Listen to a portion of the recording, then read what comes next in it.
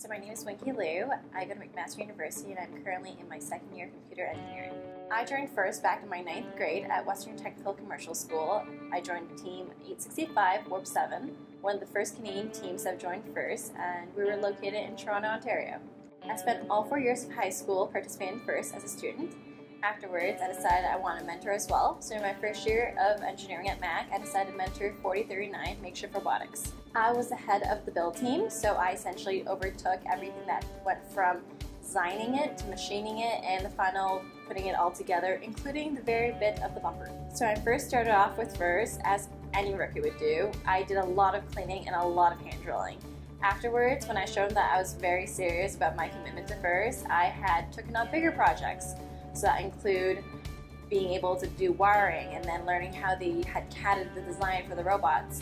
Eventually, in my final year, I was a head build coach, which meant that I was able to oversee everything from the chassis make to the final production of the robot spinning around. FIRST had become something very close to my heart. To me, it was a second family.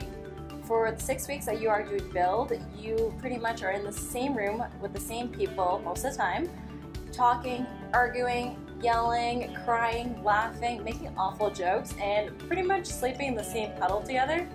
Uh, but the best of it all was the fact that you're all in it together for the same goal. And to me, FIRST, FIRST was a second family.